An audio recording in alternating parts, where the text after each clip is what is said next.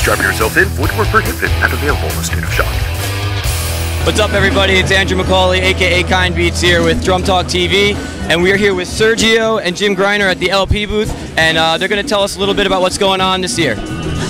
So 2014 marks LP's 50th anniversary. We have a lot of new products, new things coming out this year to show off and uh, commemorate 50 years of LP. Awesome.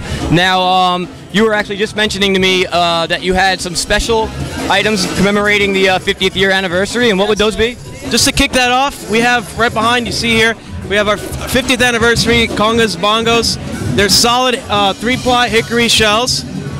They produce a very rich lows, mids. You tune them up, the, the highs crack really nicely. We're featuring these new rubber gaskets on these, so you have no metal to wood contact. And we have uh, matching bongos, all gold hardware, extended collar rims. You know, it's a really high-end premium drum. The anniversary. Awesome. And then you also mentioned, I think, a cowbell? Yeah, there's a 50th anniversary cowbell. It's a gold uh, powder coated uh, Black Beauty cowbell with our 50th anniversary. Same logo you see here. That's done with our dye sublimation process applied to the bell. Awesome.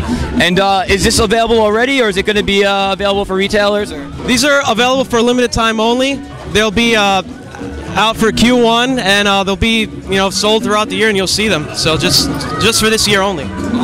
And uh, Jim, you actually uh, endorse, L- well, you play LP. Um, what is it that you love about LP so much? Uh, I've been an endorser and performer with LP since 1993, and being on the road for many, many years, I've always appreciated LP's durability, consistency, and the sound quality, and that I can find LP anywhere around the world where I go. So I play congas, uh, bongos, uh, djembe, timbales, and uh, all manner of uh, hand drums and hand percussion instruments. Very good. And uh, we're actually going to check out Jim playing a couple of these drums uh, so you guys can hear just how great they sound and how great he sounds. And uh, if you want to find the information for LP and where you can get all this stuff, Magic Fingers right here, all the information right there for you guys. Um, until next time, guys, practice hard, play harder. I'm out of here good one. I like that.